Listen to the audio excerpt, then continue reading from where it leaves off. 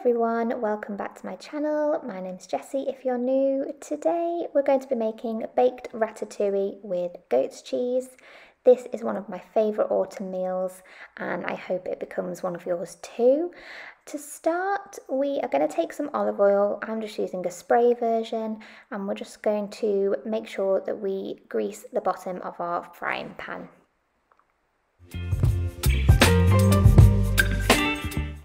Next up, we're going to take some red onion, some garlic, and what else do we need? Also, two uh, red peppers, and also two medium sized aubergines. And we're going to dice all of these up nice and small to go in our ratatouille.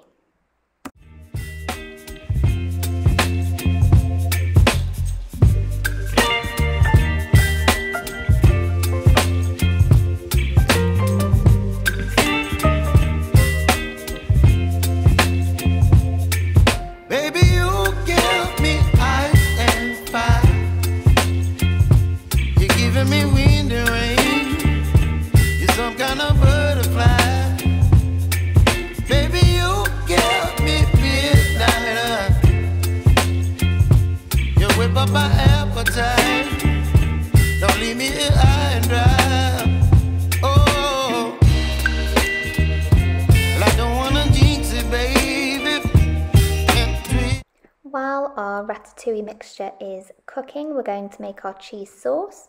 So we're going to start by mixing some butter and plain flour into a saucepan on a low heat until that's nice and combined and it makes a roux paste.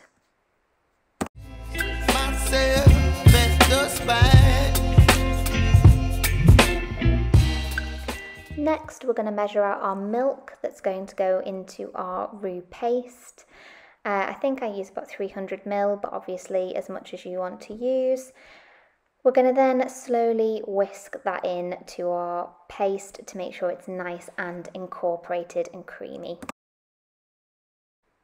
Then we're going to add our cheddar cheese into our cheese sauce. Um, I'd just add as much or as little as you would like to taste.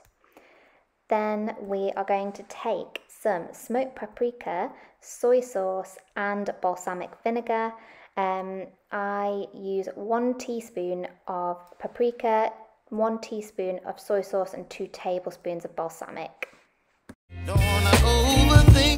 Next we add 500 ml of passata.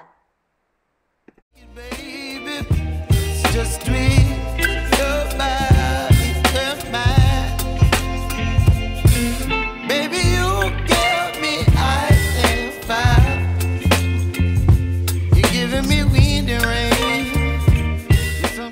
Next, you're going to take these two rather large courgettes. Uh, you probably don't need all of these.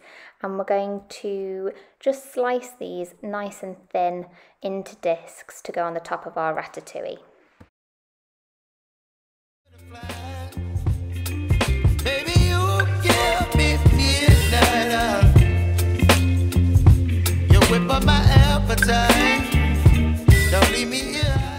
The ratatouille is cooked, you're then going to tip it into a oven-proof dish and make sure that it's nice and evenly distributed. Oh. Top that with the lovely cheese sauce that we made earlier. It, then you're going to take 200 grams of goat's cheese and crumble that on top of the cheese sauce.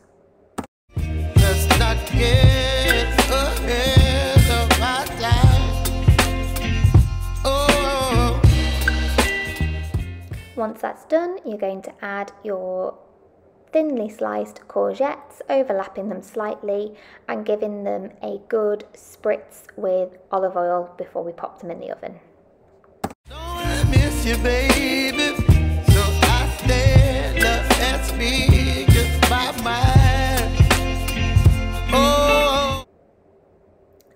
there we have it. This is before it goes in the oven. We're then going to bake that at 200 degrees Celsius for 25 to 30 minutes. and then here is the finished product, um, slightly tucked into, um, but it was in fact delicious. So let me know if you try it and I will see you super soon. Bye bye.